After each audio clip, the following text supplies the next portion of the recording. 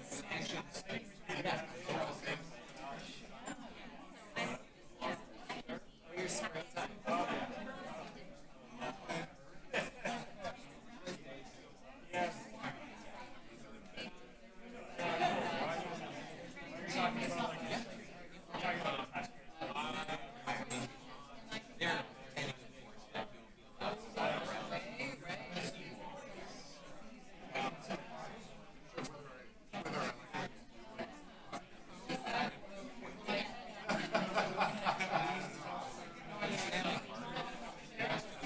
Okay, everybody. Yep. Oh, there we have the uh, deputy gavel there. Okay. If I could just reconvene the meeting. We were on questions of staff, and Councillor Malik had the floor. Do you have additional questions? I, I do. I thought you might. Thank you very much. Um, so I don't mean to belabor the point on the environmental assessment, but may, maybe I do. Um, can you tell us a little bit more about the reason that the province has given the city for not conducting an environmental assessment for the West Island related to the lake fill work? Uh, through the chair, uh, the, one of the deputants, Ross Burnett from IO, really spoke to that, and I, I, really don't think it's appropriate for us to comment further on on uh, what he what he said. Um, so, in staff's view, is an environmental assessment for this application as it relates to lake fill on the West Island required under the official plan and the waterfront secondary plan? I mean, from our perspective, what would be the preference? Through the chair, it is a, an environmental assessment is a requirement through the official plan and the central waterfront secondary plan. And I guess from the staff report, what I guess I read was that, and was, uh, I guess, reflected back from the deputant is that while there are aspects of an environmental assessment, it is not an environmental assessment. Is that correct? Through the chair, that's correct. Um, does the city's planning policies for the waterfront include reducing transportation by car use? Through the chair, that is correct. Uh, both the central waterfront secondary plan and the parent document, the official plan, emphasize uh, non-auto use and a redirection to pedestrian, cycling, transit, and uh, in the case of uh, Ontario Place, uh, water transit as well. Uh, thank you very much. And can you tell us a little bit more about what transit improvements are planned for the area around Ontario Place over the next several years? Yes, through the chair. Uh, there are a number of improvements planned uh, at Ex Exhibition Place. Uh, first, the uh, improvements to the GO station at Exhibition Place, uh, increased service on the GO line that goes through Exhibition Place, the addition of the Ontario Line station, the end, end station point, uh, at that same location. Uh, there are also plans to extend the LRT, which ends now at the exhibition loop, and expand that, expand that over to uh, Dufferin Street. Um, and those are the key uh, transit improvements. Um, that's that's pretty significant to hear. So thank you for sharing that. Um, does the proposal for 2,700 potentially plus total underground and surface parking spaces meet the policy objectives for transportation use on our waterfront? Uh, through the chair, we find that number uh, excessive. It's quite a bit above the uh, bylaw requirement for parking, and it does not satisfy those uh, policy directions. Um, related to that, how does this um, proposal measure up against the city's climate action goals? Uh, through the chair, uh, the city's objectives on climate change include reducing carbon emissions and carbon neutral new development. Uh, the Therme proposal for the West Island is an all glass building, uh, which is a structure that will make it difficult to create a highly energy efficient structure uh, that reduces, redu reduces greenhouse gas emissions. The proposal for the parking structure um, does not assess the impact on upfront carbon emissions, embodied carbon, associated with the impacts of material and construction. Below-grade parking structures have been shown to have a disproportionate impact uh, on carbon emissions, which would be further exacerbated uh, where subsurface water measures are needed. Uh, The parking strategy does, does also not support the shift uh, to more sustainable, lower uh, emission modes of transportation. Um, Staff are encouraging uh, the applicant to go above the minimum requirements for the Toronto Green Standards and achieve uh, higher performance measures of Tier 2 or Tier 3 uh, to address the city's net zero uh, targets. Thank you very much. Um, and we got a sense of, um, some of the public engagement and that's very important to this process that is coming up, the in-person uh, consultation um, this Saturday and then a virtual one on, on April 18th. Um, can you uh, lay out for us a bit what the city's plans for public engagement are on this redevelopment proposal um, alongside uh, what, uh, what has been publicly shared in this first round? Through the chair, in addition to our event on Saturday and the virtual event on the 18th, we're, con- we're considering a follow-up event in, in, in, in advance of the resubmission that we're expecting in late June uh, to review design changes and, and um, review with the applicant some of the things they've been hearing from stakeholders. So that, that's also contingent on the outcomes of what happens uh, over the next couple um, consultation events. So that's what we're planning for now. Thank you very much. That's it for now. Do any other members have questions, staff? Councillor Moise. Uh, Thank you, and I'll be quick.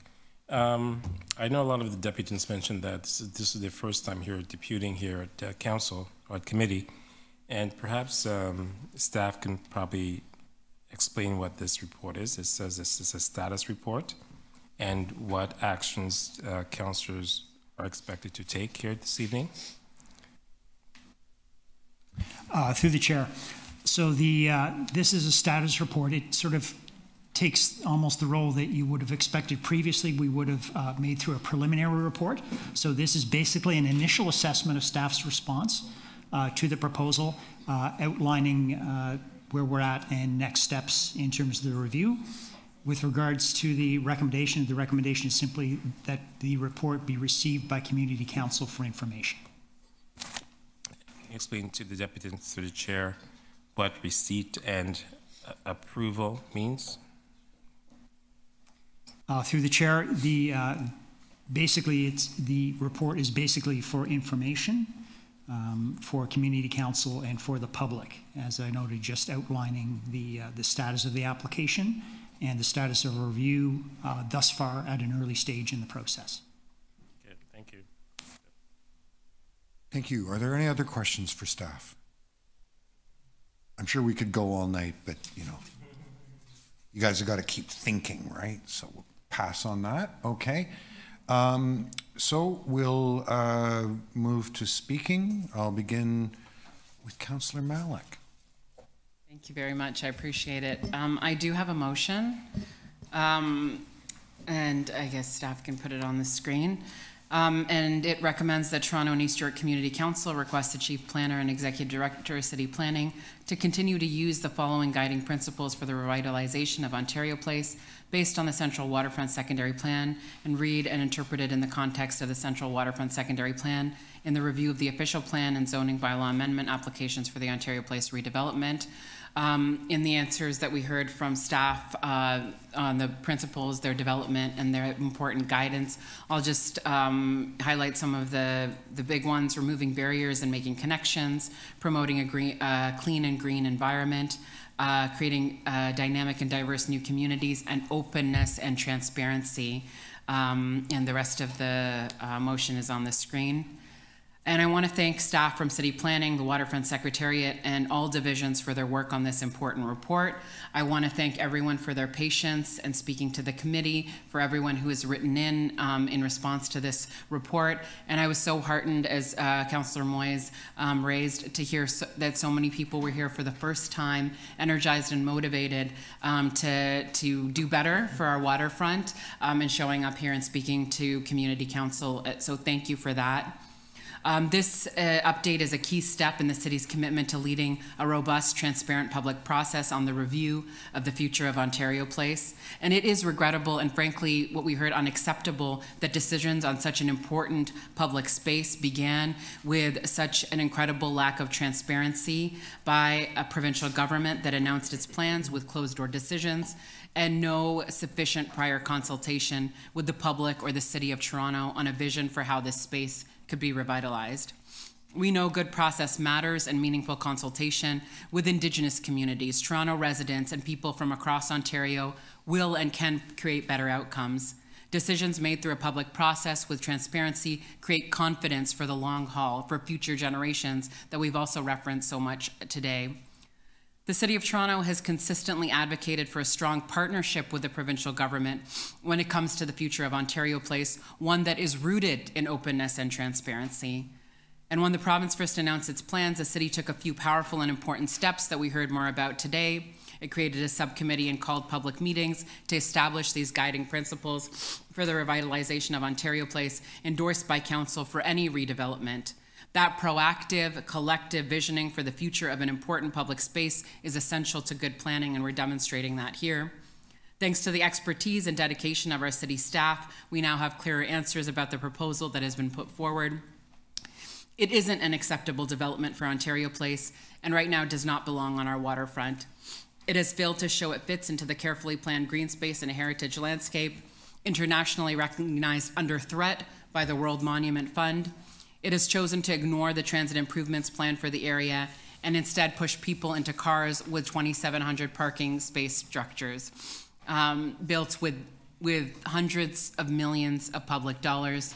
In doing so, it also fails to meet our climate leadership goals as a city. It is also very concerning to me that the province has not followed its own rules by denying a proper environmental assessment for the West Island, there are no shortcuts for the revitalization of important public land to be done in the public interest. And today, residents and community stakeholders were able to advance the public conversation on this proposal through comments to, city, to the city staff report. The public engagement will continue this week, as we have mentioned, with the first city-led meeting on the application this Saturday, April 15th, in person at the Beanfield Center, and a virtual meeting on Tuesday, April 18th. I'm looking forward to this open and robust engagement on what the future of Ontario Place should be. I know our city staff will listen actively in these coming days, weeks, and months as the development process continues. This public engagement is critical in the future of Ontario Place. The province needs to listen to uh, Torontonians, and we we urge them again, as we have uh, for the for many times before, to actively engage with residents in this process. Finally, Ontario Place revitalization must continue to be led by clear principles based on public policy and public interests. And that is why I'm asking this Community Council to reaffirm the guiding principles that were approved through a genuine, public, and transparent process in the previous terms. Thank you very much. Thank you. Any questions of the mover? I'll allow the applause this time. Councillor Saxe has a question. Councillor Saxe, you had a question. Not a question. I, I just I wanted to speak for a minute. Okay, I, I'd seen Councillor Moise next, and then I'll come to you after him. Councillor Moise. Uh, thank you, Mr. Chair. Just want to take some time just to thank the deputants for you know being here. You know, you've been here since 9:30 in the morning, and it's now 9:30 at night. You know, as you probably saw, I've been struggling with my allergies today, but I, I'm here.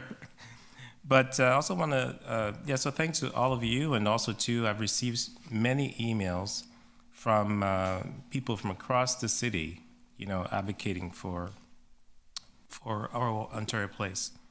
And also too, I've met with Norm Di Pasquale and his team, you know, just giving me uh, feedback on what's happening and, and, and, and the proposals and, and their thoughts on the project. I also want to thank uh, Councillor Malik for her leadership on this file as well. You know, since she's taken office in the last four and a half months, five months, she's really dug right in and you know uh, really advocated for our community here in Toronto, and of course to thank staff as well for all their hard work. You know, I, I grew up in the city. You know, I immigrated to Canada at the age of seven. One of the first places that my family took me was to Ontario Place. When I was in elementary school, I went to the Cinesphere and, you know, watched the stars and learned about the stars for the first time. And that's why I fell in love with, you know, astrology and all those things. Astronomy, I should say, whatever it is called now. but um, so I do have fond memories of Ontario Place, and you know, it's a place that uh, we all have fond memories of. Listening to the deputants all day today, you know, it made me sort of reminisce about my own experiences, and that's what it's supposed to do, to, to do, and and to continue to be for younger kids uh, growing up here in our city. So. Um, again, it is a jewel, and we should protect it, and we should do all that we can to do that. And this is just the first step of many. And uh, I will continue to support uh, you and uh, Council Malik and, and as we go forward. So thanks again, Mr. Chair. Thank you. Councillor Saxe. Yes, I wanted to say thank you to the staff uh, and to all the deputants for your passionate words and speaking up for this issue, and to pledge my support for doing everything we possibly can to prevent the privatization of Ontario Place. Thank you. Thank you. Uh, Councillor Bravo. Thank you, Chair. I, I want to support the leadership of Councillor Malik. As Councillor Moise said, she's been working so hard on this file, and I got to tell you, we're behind you. Thank you to staff. You know, there's an obligation of government to invest, and investing in Ontario Place is something that the provincial government neglected, uh, I think, in a very purposeful way for a really long time. Um, and this is just an, an another example of how the people of Toronto are shortchanged by the provincial government in so many different ways. The thing that has to guide us here is public good, equity, the notion of what land is actually for. Public land has to have a purpose that's social, that lifts us all up, economically, yes, and, and socially in terms of our goals that we've set out together. City Council, I think, has to use every single tool at our disposal, every single uh, tool of municipal government um, as leverage to uphold the principles that have been set out for a better vision for Ontario Place. But I, I want to just recognize that it's you, all of you, the deputants, the organizing, working on the, with your inside champions within government. That's the power that we need to get a better outcome here. So I hope that this is just a start, and I really want to thank you and recognize you for all of your efforts. Thanks. Uh, thank you. Um, I'm just going to say a couple of quick things too. Um, I've been sitting here during this discussion and thinking about the nature of politics. Sitting on, you know, this side around this table, politics becomes this procedural thing, this this rule-bound thing, this uh, place where we try to referee interests and come to decisions based on established bodies of law. And, you know, that's of some value. But there's also the, the politics out in the world where people are organizing, where people are struggling to make a better Toronto and make a better place. And then there's the moment when these two worlds come together uh, a moment like this evening. And there have been other ones here, and this is what I love about local government, is we can actually create that third space. Uh, it's a space of imagination, it's a space of memory, it's a space of hope, and it's a space where we create uh, power and fight back against really, really bad problems in our society like this one. So uh, I want to thank everyone who's uh, shared this conversation from all sides, the members of the committee, the members of the public service, the clerks who have been somehow managing to keep me on track, but mostly all of you who've uh, taken time out of what are doubtlessly very busy lives with a lot of demands to come and create this third space together with us tonight. Thank you. The work will continue and we will win. Okay.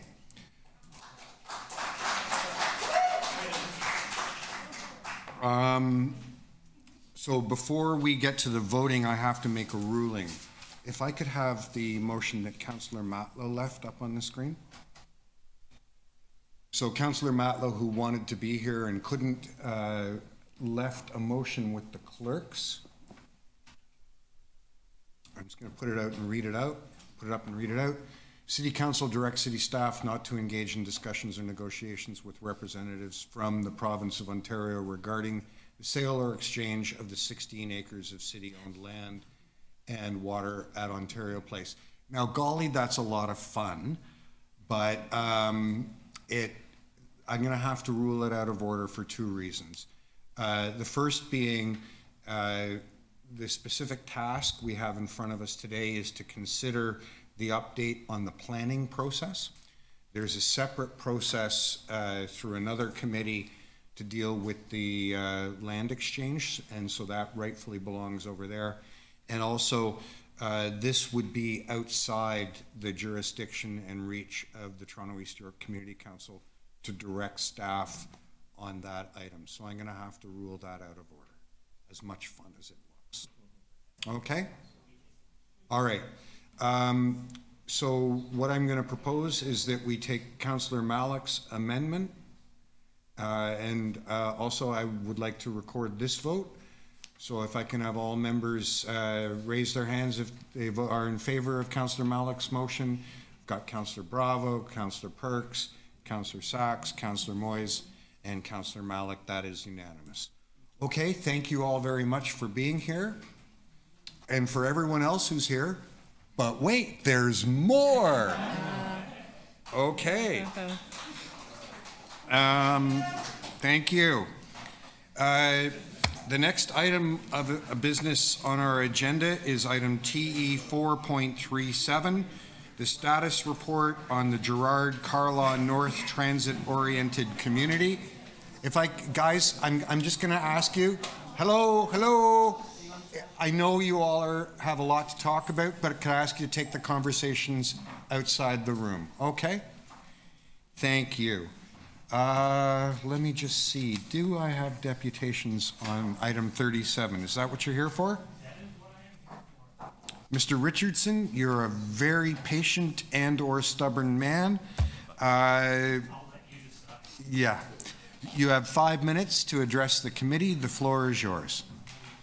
Thank you, councillors. Can you hear me okay? Yeah. Okay. Uh, councillors are Housing Now TO civic tech volunteers, many of whom live in the wards near the Gerrard Carlaw Transit-Oriented Community Site, attended the fall 2022 public meetings and the spring 2023 public meetings with City Planning, Infrastructure Ontario, Metrolinx, Choice REIT, which is Loblaws and Weston. Our volunteers, along with other community members, have also reviewed all of the available documents, including the, the map I'm showing you here, uh, available on the Infrastructure Ontario website. As detailed in the staff report on this item, this is a large 5.61 acre commercial site connected to the new planned Gerrard station on the Ontario line. Based on the earlier Ontario line transit-oriented communities, our volunteers anticipate the, the, province will be issuing a minister's zoning order for the Gerrard Carlaw North transit-oriented community within the next six months. Toronto Council cannot wait for a new mayor to be elected before developing an agreement with our federal and provincial governments and to lock in a repeatable model for delivering dedicated units of new affordable rental housing on all of these transit-oriented community sites south of Bloor Danforth. To date,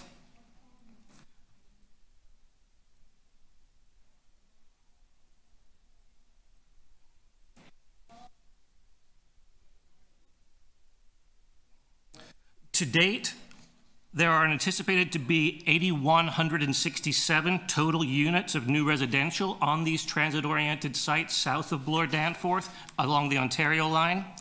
Of the approximately 8,100 new residential units that are included in these provincial transit-oriented community sites between Exhibition Station and Gerrard Station, the only specific public agreement for the delivery of new affordable housing units is 215 units.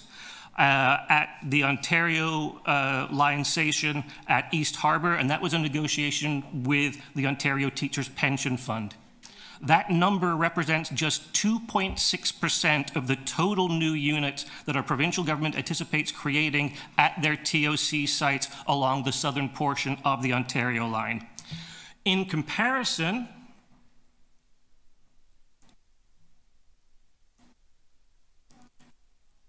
the City of Toronto on the Ontario line has a Housing Now site at Don Mills Crossing at Don Mills in Eglinton.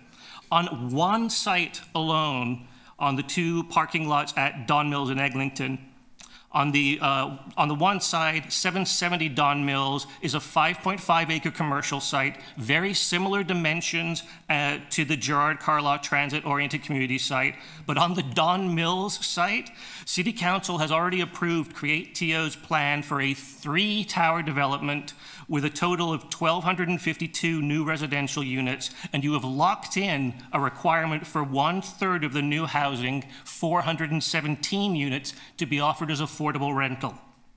On the Gerrard Transit, uh, Gerrard Carlaw Transit Oriented Community site, Torontonians should ask the same questions that our volunteers have asked on all of these TOC MZO developments. How quickly can the city work with our provincial and federal governments to deliver an agreement in 2023 to ensure a substantial quantity of new affordable rental units on all of these transit-oriented community sites? How can the city work with pension funds and landowners like Choice REIT to ensure that their transit-oriented redevelopment projects provide affordable rental units that would be available in the future to junior employees within their own organizations? How many grocery workers will be able to live in this site in the future? How many people who work in the junior ranks of the Choice REIT will be able to live in this site in the future? Um, we would like to uh, ensure that those questions are asked by council uh, when we're looking at this site at Gerrard and Carlaw. And as always, our open data and civic tech volunteers are happy to answer any questions the committee may have about affordable housing development best practices and how to make the best use of transit-oriented lands here in the city of Toronto. Thank you. Thank you. Are there any questions for the deputant? Mark, we admire your persistence. Thank you. Um, Are there any other members of the public who wish to make a deputation on this item? Seeing none, are there any questions of staff? No? Councillor Bravo, I'll hand the floor over to you. Thank you, Chair. On behalf of Councillor Fletcher, who can't be here, I'd like to um, uh, move a motion. Have an amendment? Diane?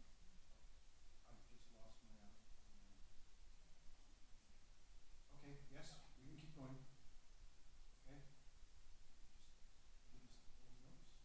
I do not, I, it's with the clerks, I believe.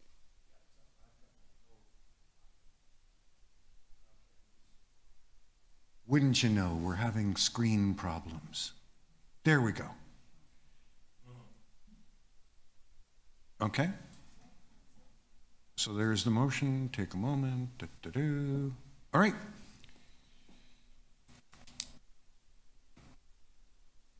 Okay. Yeah, uh, thank you. That, mar- the motion is about uh, requiring affordable housing. Very good. Any questions of the mover? Does anyone else wish to speak? Okay, we'll take it all as a package. All those in favor, opposed, carried. Okay, I'm going to try to get the ones with deputants wound up first, so we'll go next to TE 4.66. I don't know what that was. Was that the inside of my brain? Okay. Um, Pedestrian safety on Avenue Road, Bloor Street to St. Clair Avenue West. We have deputants, Barbara Kapchin.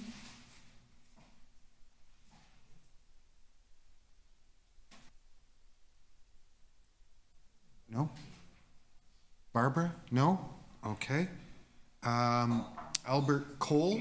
I don't see Albert in the room. Albert's online? Albert, are you with us?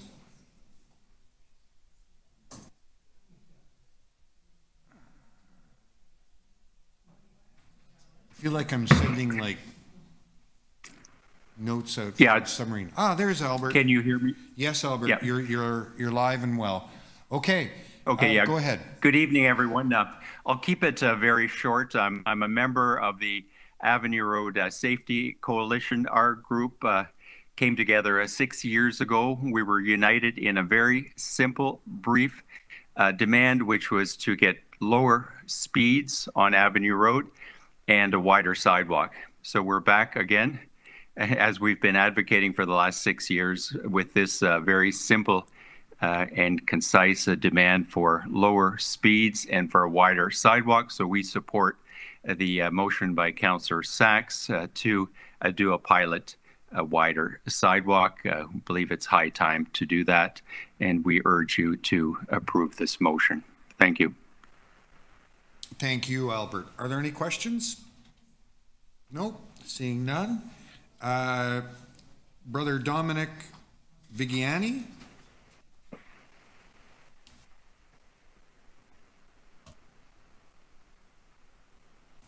Is he online? We're just seeing if he's online. No? okay. Uh, Not in the room. Okay, we'll move to the next person, Kathy McDonald. Kathy? You've been with us all day. I have. Hey, there Yes, this are. is my, my last, last item for the day, and uh, I really appreciate all the work all, all um, the counselors have been doing and all the deputants through the day. So um, uh, for this item, I'm uh, representing the Deer Park uh, Residents Group. I'm their current president. So we're um, members of the uh, Avenue Road Safety Co- uh, Coalition. Avenue Road is our western boundary. So um, uh, we drive along Avenue Road a lot and um, walk along the far too narrow sidewalks, and the uh, children go to school along those uh, sidewalks. Um, so we've been, um, you know, supporting um, uh, decreasing speeds and widening sidewalks, and um, definitely support um, the motions of um, our counselor Matlow and Counselor Saxe to um, actually do something about this fast. Thank you. Thank you. Are there any questions for Kathy? No? Thank you very much for hanging in with us all day. It's been a slice. Um, Dylan Reed. Dylan? I know you're out there in the ether somewhere.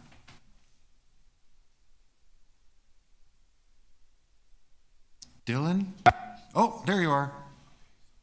Okay. Uh, okay. Yes. Thank you. Um, okay. So my name's Dylan Reed. Uh, I'm here representing Walk Toronto. Uh, Walk Toronto is a grassroots volunteer organization dedicated to making Toronto a better city for walking. Uh, I lived on Avenue Road for several years in the late 1990s and regularly walk to work and services along the street. And uh, it's depressing that the terrible pedestrian experience I knew at that time has not been improved since. Um, the lack of change is even worse given the extensive construction of new residences along the street. Uh, the population living on Avenue Road has increased substantially and will increase even more over the next two decades. Um, if Toronto is to meet the commitment, its commitment to encourage three quarters of trips under two kilometers to be accomplished by walking or cycling, it has to make Avenue Road a safe and attractive place for those who to walk for these new residents, as well as for existing residents. Partic- it's particularly important given the five schools and four seniors residences on or near the road. Um, the pedestrian experience on Avenue Road between Bloor and St. Clair is terrible. In many places, the sidewalk is less than the bare minimum 1.5 meters required for the most basic level of accessibility, um, let alone the 2.1 meters expected for any arterial, arterial road. And even then, the narrow sidewalks are often blocked by utility poles. Meanwhile, the speed of cars driving immediately beside these sidewalks is so threatening and so disturbing that at many points the city has erected barriers to give pedestrians a feeling of safety, although these barriers would be unlikely to make a difference if a speeding car actually crashed into them with a pedestrian present. present. The current width and speed of Avenue Road between Bloor and begin the process of making Avenue Road safe and appealing for pedestrians as well as other users. Thank you. Thank you. Are there any questions for Dylan? No? Dylan, thank you for hanging in with us. Uh, next, I have Jessica Spiker. Or Speaker? Jessica? Hi, Jessica. Can you hear me?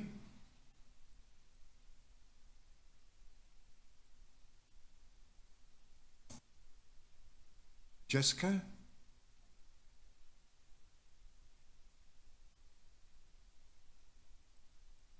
There we go. I think I'm on. Can you hear me? Hi, yes, welcome.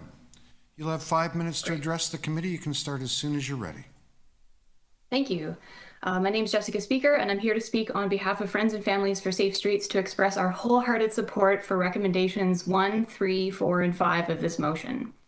Friends and Families for Safe Streets is a group of people whose loved ones were senselessly killed in crashes that could have been prevented, and survivors like me who are devastated by crashes causing severe, life altering injuries. Again, all of it preventable. To mark the World Day of Remembrance for Road Traffic Victims in 2001, I led a tour of road violence down Avenue Road, starting at Roxborough and walking south to Bloor. The amount of violent, devastating crashes along this short one kilometer stretch of Avenue Road was jaw dropping.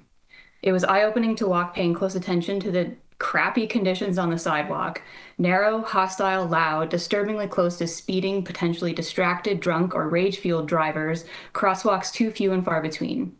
The imbalance between the excessively wide six lanes for cars and the hostile ribbon of sidewalk becomes even more jarring, frustrating, unacceptable, and frankly callous when you focus on all the instances of road violence that arose out of that very wide six lane design that prioritizes speeding cars over safety. I'll try to give you a very quick summary.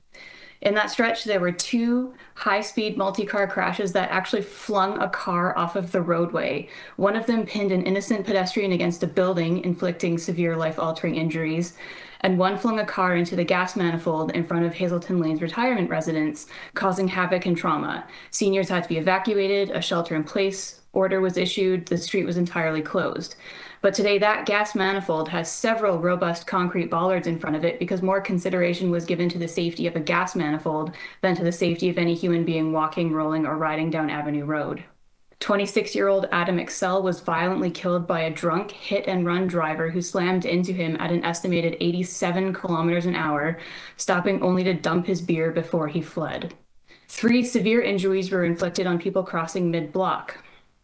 Some might want to victim blame these people, but there were no crosswalks between that was within a reasonable distance of where they were crossing. Roadway engineers know that people just won't walk that far to get to a crosswalk, and they know that by design they are forcing people to cross mid block. And despite knowing that, they still don't build a crosswalk, and they also face no consequences whatsoever when inevitably users of the road are severely injured or killed even so they those people weren't in a crosswalk. Other people were severely injured in crosswalks. Two people were struck in crosswalks during green lights by left turning drivers because there are absolutely no safety measures in place at any intersection on avenue to prevent that kind of inattentive driving behavior. A young person on a bike was doored in front of the ferrari dealership which flung him into a ttc bus that teenager was likely to survive at all with severe life altering injuries. And most recently, on August 18, 2021, a cement truck driver killed 18 year old Miguel Joshua Escanan as he rode his bike north, leaving the safety of the cycle tracks that are on the south side of Bloor and being thrown to the wolves on the untamed car lanes north of Bloor. That truck driver passed him too closely, and Miguel was sucked under the rear wheels of the truck and dragged and crushed to death.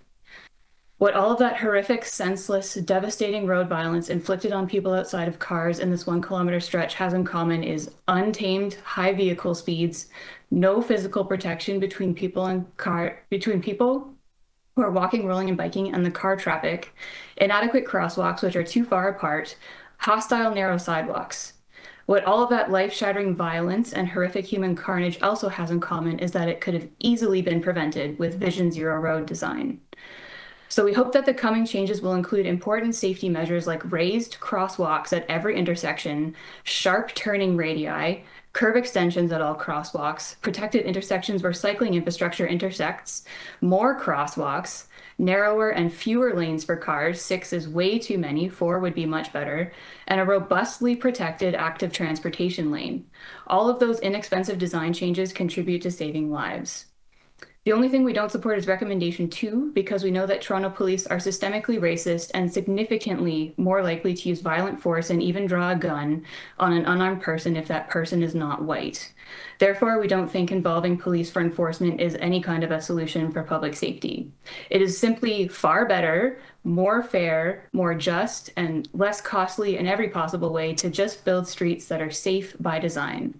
So overall, we are pleased to see this motion, and we call on all members of the Toronto East York Community Council to delete recommendation two and vote in favor of this motion today and at the next city council meeting. Um, and if someone would indulge me and ask me a quick question about the all collision database, I can share slightly more information with you if you're interested. Thank you. Well, let's see. Are there any questions for the deputant?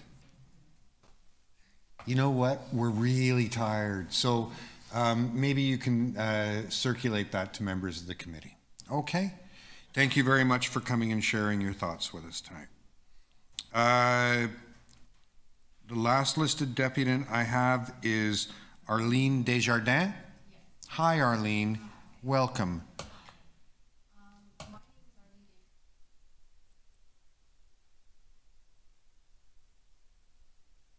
presenting this motion today. and um, what I'm doing is part of my uh, deputation is I'm going to present a video uh, because I wanted to give a voice to the uh, coalition members and to residents in our community. So I'm highway. It's it's insane.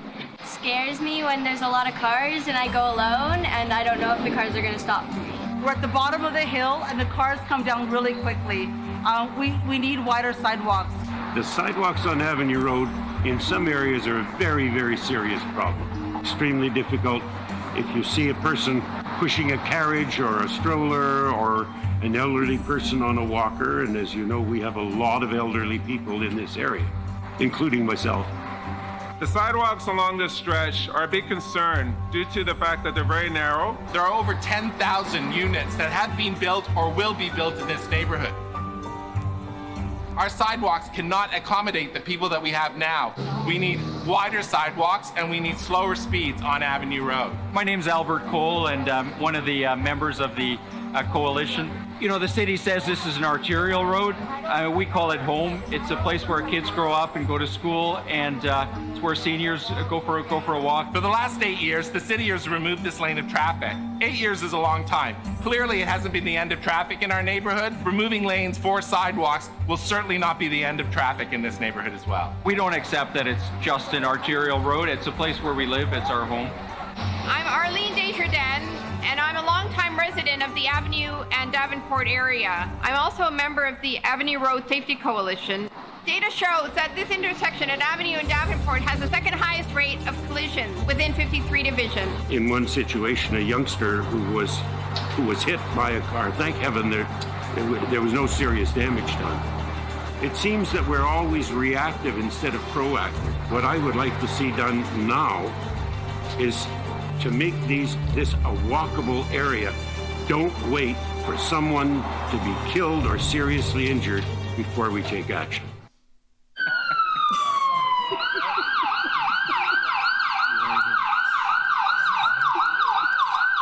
You know, this was a street built in the 50s. We're not in the 50s anymore. We have different values, different priorities.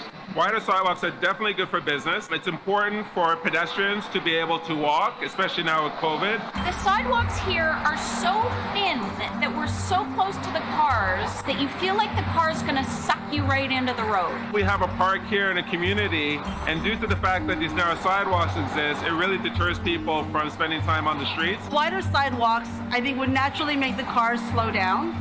Um, they would feel it's a residential neighborhood because it is. And people would feel more free to walk, have their strollers, uh, without feeling like they're going to be pitched into traffic if they make a wrong move.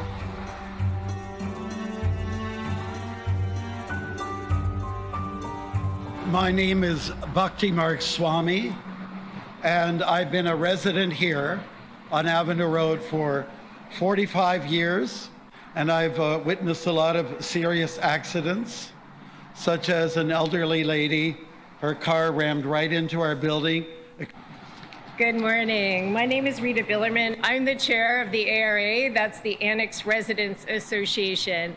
We have lobbied hard to seek improvements along this perilous stretch of road. That's why I am so pleased to be here today to call attention to this really important work.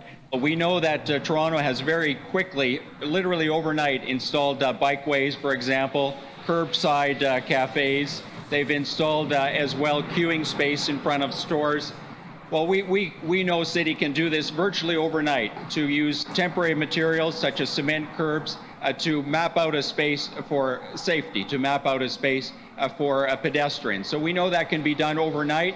Uh, we don't want another study. We know that, as we've said, uh, the only study that's needed is well, your camera and uh, people just walking up and down the street to know that there's ample space for a wider sidewalk, and the sidewalk is totally deficient uh, currently.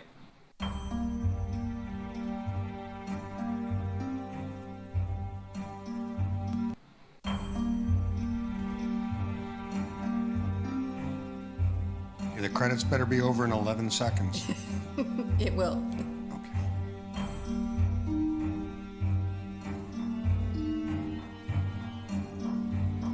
Oh, no, they won't.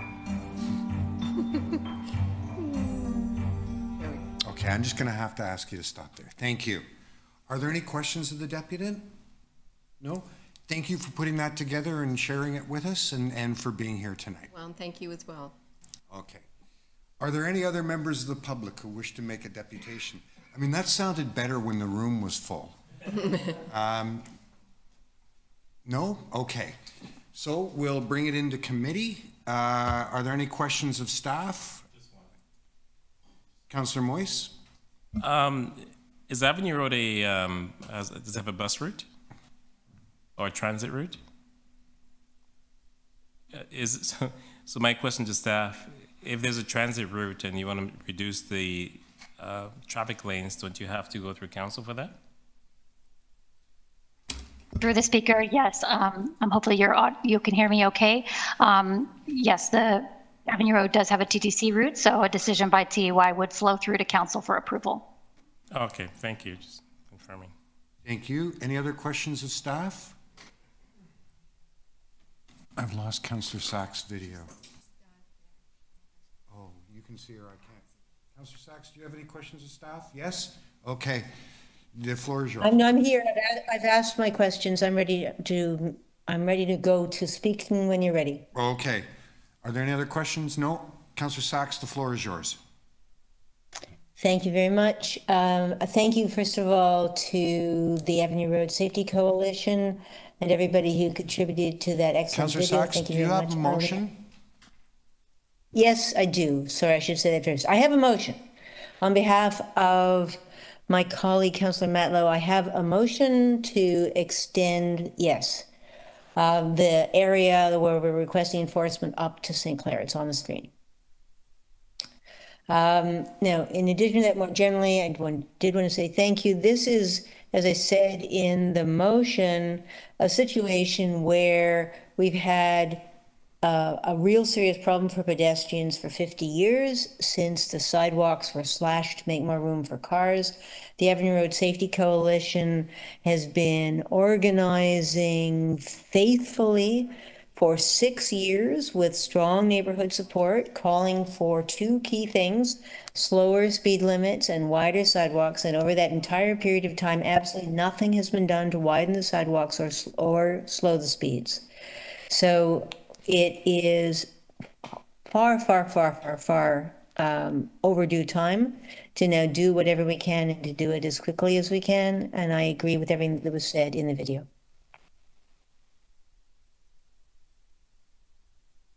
Are there any uh, questions of the mover?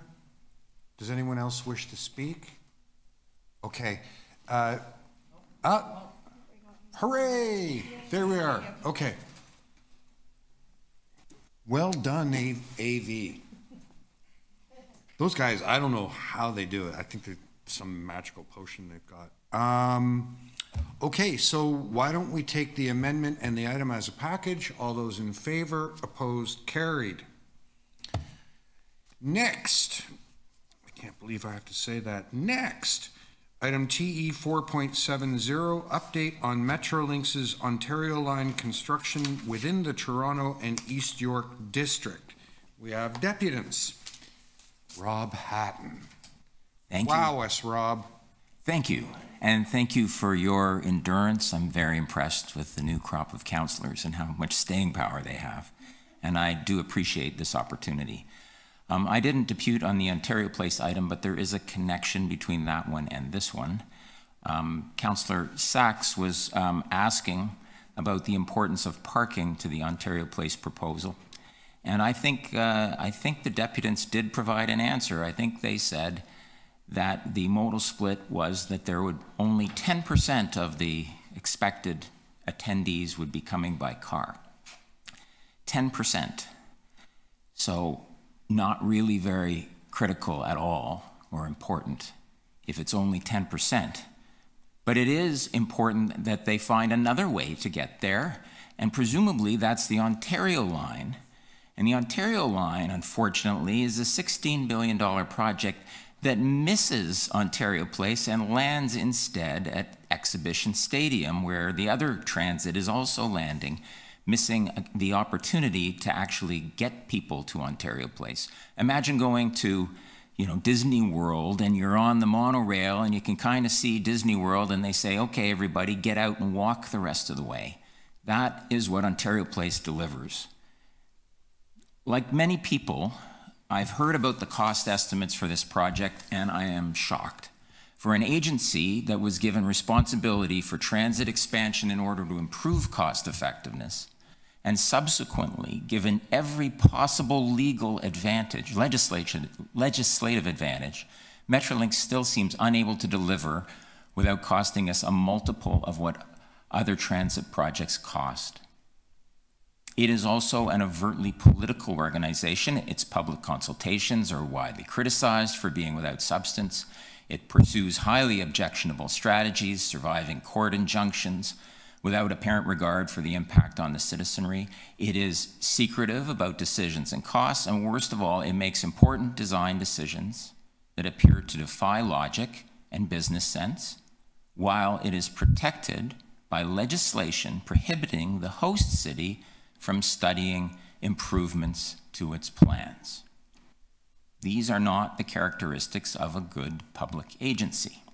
In my neighborhood, Metrolinx is intent on pursuing an above ground alignment of the subway, citing the high cost of tunneling. We know the decision is inconsistent with the Ontario government's transit oriented communities legislation because, unlike the tunneling option, it results in zero redevelopment opportunity at the Queen Street station, and accordingly, no opportunity to offset station costs with developer contributions. We also know the decision was made before major cost increases to the already excessively costly above ground requirement to replace six bridges in a 1.5 kilometer span. The decision was also made without due consideration, i.e., no costing analysis, of the tunneling option that the city had previously concluded was the best approach. What organization would turn a blind eye to such information and refuse the request of its host city to provide a cost comparison. These concerns and more have led me to conclude that Metrolinx has abandoned its fiduciary duty to the public. It is spending or plans to spend on designs that have resulted in outrageously, an outrageously priced project, in part due to its refusal to reasonably consider options that could save it money. Metrolinx is accountable only to the Minister of Transportation. Its board members are provincial appointees. The operating agreement with the city does not hold Metrolinx to account for design choices. So, my objective is to hold Metrolinx accountable to the citizens and taxpayers of Toronto and Ontario. And my intention, my plan, is to take Metrolinx to court and to prove it has breached its fiduciary duty and owes the public restitution or damages or corrective action. In this regard, I could use some help. Your help to help defray the cost or support the development of the court application. The city is uniquely positioned to help and frankly should have an interest in the outcome. So I am here seeking your support. Could you please recommend the city support this initiative? Thank you. Thank you. Right on five minutes. It's like you'd been here before. Uh, Are there any questions of the deputy? No? Thank you very much, Rob. You. Uh, The next deputy is Haley Morrison. Haley Morrison? Haley Morrison. And so, on that sad note, we complete the deputations we have this evening at 10:01. Okay, are there any questions of staff? No? Questions of staff? No? Yes. Yes. Councillor Malik.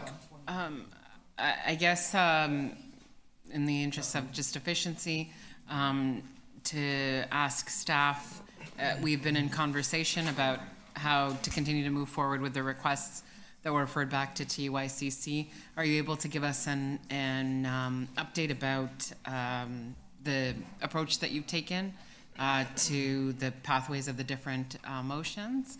Um, and, uh, what we can anticipate? So through you, um, um, Mr. Chair, to, to the councillor, um, uh, we've uh, shared a document uh, with uh, Councillor Malik, um, and I'm not sure, perhaps it should have been shared with the with the rest of the committee members.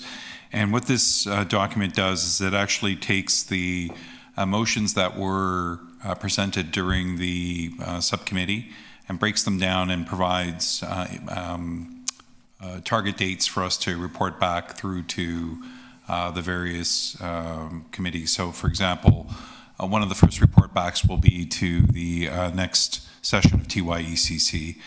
Uh, we're also in communication with um, um, Councillor Malik's office as well to talk about how we can best approach uh, concluding all of these items and then getting them over to Metrolinx so that uh, we can get the appropriate answers from them and from government. Not sure if that answers the question.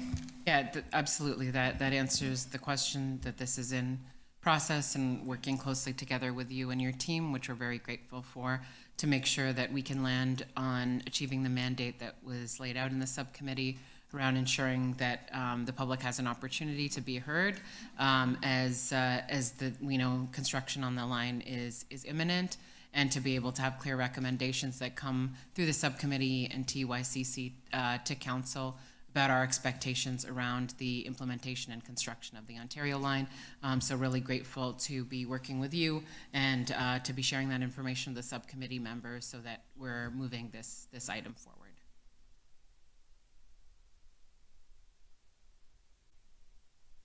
Okay, all right. Sorry, I, I, I gapped there. Um, anyone else wish to speak? No? Okay, all those in favor? Oh, sorry, what? Sorry. Oh, we all gapped. Ten o'clock, everything goes wrong. I do appreciate you guys hanging in, I really do. I bet you're happy that we didn't grill you for a long time though, right? You like being grilled? And fried and filet. I, I'm sorry, I do have motions. Okay, it's late. Yeah. All right, so there is a motion. Yes. And I think as, Surprise. Surprise! as you suggested, it requires a whole lot of reports. and- Mistaken. Yeah. Uh, so, um, there are just some adjustments. You'll, you will have seen, um, the motions that were coming forward Okay. from the subcommittee.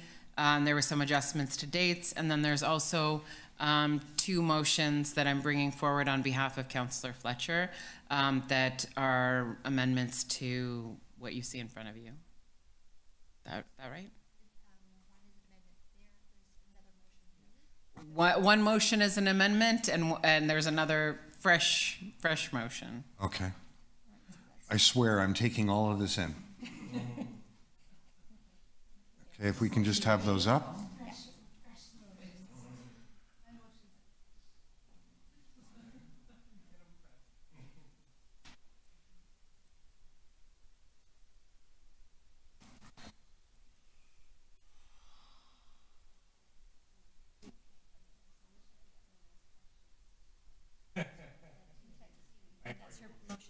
Okay, that's motion B.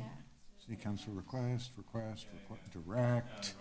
And these motions have been shared with, with the tra- transit, All right. executive director of transit. They look good to me. Um, so why don't we take it all as one package? All those in favor, opposed if any, that carries. And, uh, members, just like in keeping with the spirit of the day, it turns out I was wrong. There is another item with deputants. Yep. Uh, this is item four point two eight, one Bloor Street West, noise exemption permit refusal appeal. Uh, we have two deputants listed. Diana Awad, is that you, Diana? Good evening, it's Dina Awad. Dina, I am so sorry. No problem. I Thank can you. I know it's barely been see a, a long day and I appreciate everybody's patience. Okay. Dina, you have five minutes. You can start as soon as you're ready. Just trying to hook up my computer. Okay, we'll just have some, someone from me. Oh, there we go. Okay. Very good. Dive in. Thank you. Uh, good evening, everybody. And once again, thanks for sticking around and for your patience and hearing me today. My name is Dina Awad. I'm a partner at Dentons Canada LLP, and I'm here on behalf of Mizrahi Development Group, the One Inc. Uh, this is an appeal application for a construction noise exemption permit submitted by uh, Mizrahi. We filed our submission with the clerk, and I understand that you've received and have reviewed our appeal package. I just want to highlight a few items to your attention. Uh, first, we understand that noise is an unfortunate part of downtown Toronto right now, especially near Yonge and Bloor, where the development is located. In view of this reality, Mizrahi has sought to be a responsible builder that is doing everything possible to contain, mitigate, and shorten the intended length of the noise. In this regard, the key steps that are being taken are as follows monthly stakeholder meetings, which are facilitated meetings with the community, targeted follow up discussions with individuals as requested, senior project staff providing their personal cell phone numbers for residents who have any concerns to call them, and acting in response to any complaints or concerns. Mizrahi has hired a noise expert to monitor and provide continuous feedback on the noise, and, uh, and reactions are being taken if there are exceedances on the noise monitors. I've included some schematics that I will uh, come to in a moment, but it's important to remember that no- noise may come from a number of locations off site and appear to be coming from this location. Uh, further, Mizrahi is agreeable to reducing morning operations and to amending its request in accordance with the feedback received from Councillor Saxe for a 6:30 start. And Mizrahi has commissioned a noise engineer to look at options to reduce noise during normal hours from a concrete pump that uh, has been uh, a cause for concern for the residents and is actually implementing the mitigating measures. Mizrahi does wish to work collaboratively with the city and with Councillor Saxe uh, and uh, wants to continue consulting and engaging with the community. It is in the interest of everybody involved for the exemption to be granted. And uh, the first uh, image that I'd like to take you through to try and illustrate is that as we build taller, less noise will be created from the project. This shows that as the development gets taller, the distance increases from the point of origin, which reduces noise both because of the distance and from the hard surfaces, which create a barrier. A sound barrier will interrupt the line of sight between the sound source, in this case, the construction, to attenuate the noise. And the greater the interruption, the greater the attenuation. So the one itself, the building itself, creates the attenuation. The higher it gets, the more of a sound barrier uh, it creates. And so there's a real interest in allowing it to get high enough to either meet or exceed the neighboring buildings, at which point the noise will be significantly lessened. The other uh, image that I thought might be helpful to share with you, and these are all images that have been created by uh, an expert sound engineer that's been hired to monitor uh, the situation, are um, data from an average construction day on the site and data from an average weekend day where there was no construction on the site. And again, this is from the continuous monitoring that's taking place 24 7 on the site. And this is this just shows that the construction noise from an average construction day is actually uh, not significantly higher from the background ambient that's present at this intersection on a normal weekend. This is a very, very busy area of the city, lots of traffic, and just very loud overall. The third image that I'd like to share with you is, um, is an image that was also developed by the sound engineer, which explains the uh, noise confusion that often happens at this site because of the, topograph the, the, topography and the hard surfaces. There's at least four construction sites in the immediate vicinity, and this shows that if noise is coming from one construction uh, source, it tends to reflect and reverberate off of the other buildings and appear to the surrounding neighbors as if it is coming from the Mizrahi construction site when it is not. And once again, the sound engineer that has been hired has, has concluded that this area is especially prone to noise confusion. So respectfully, Mizrahi requests that this appeal be allowed and that the noise exemption permit be granted with the amended start time to address prior concerns by Councillor Saxe. Um, and, and as mentioned, the higher we build, the, the quicker we will get to attenuating the noise. Thank you. Thank you very much. Are there any questions of the deputant? I don't have Councillor Saxe. Do you see him? Okay, I, seeing none, thank you very much. I'm here. Do I'm you- here. Do you have a question of the deputant? No, thank you. Okay, thank you very much. Um, I also have listed John Rothwell. Not present? Okay. Any other members of the public? Look, the room's empty. I mean, congratulations, like you just won Survivor. I, I've been here since 9 a.m. Ah, very good, very good. Um, okay. Any questions of staff?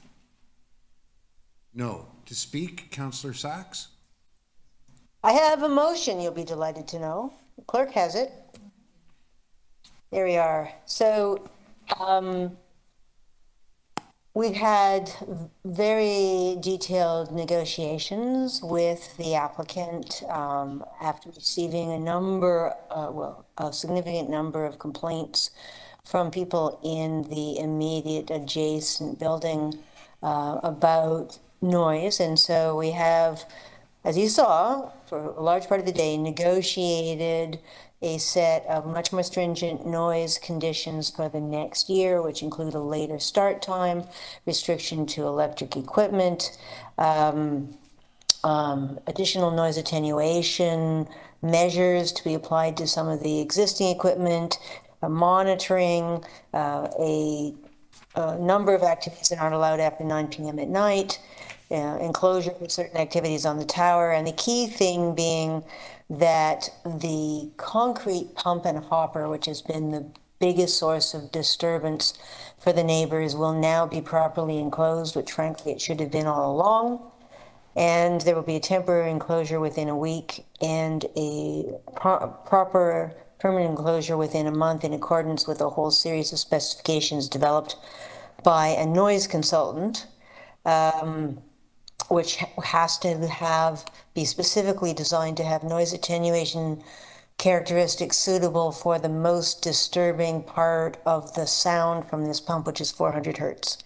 So that's the motion, and uh, it should mean a significant improvement in the noise being uh, experienced by the immediate neighbors.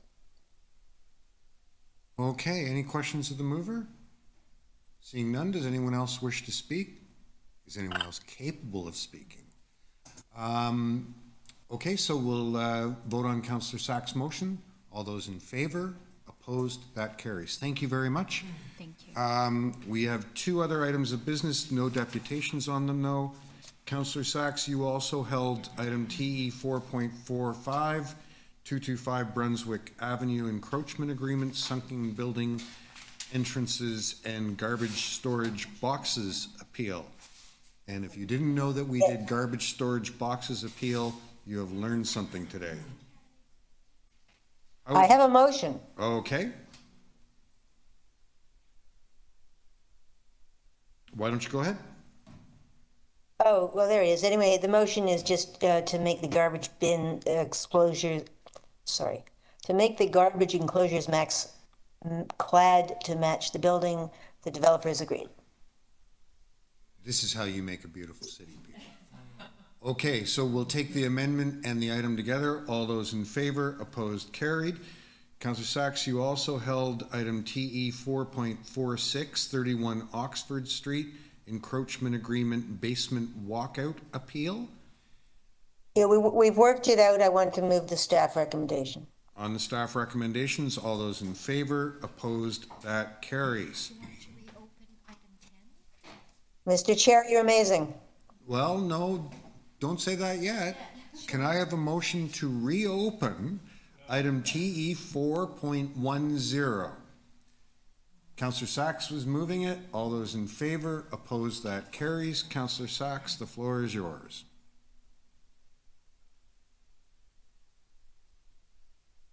Oh, I've lost your audio. Oh my God. Let's try that again. Ah, So, have you got me now? yes. Okay, so, uh, staff say that we needed to change the wording of condition eight. So there's a motion. Okay, thank you. This is the motion to make sure that this building, which isn't putting in parking, the people who move in there aren't entitled to get permit parking spots in the neighborhood. Ah. and- So, No? Right. No, no, wrong one. Yeah, that is my motion. There is, there, I Hang on a sent sec. you, a- Hang on. hang on. We're working. We're working. we We're have slightly so be- close. better wording to that. You can see the finish line.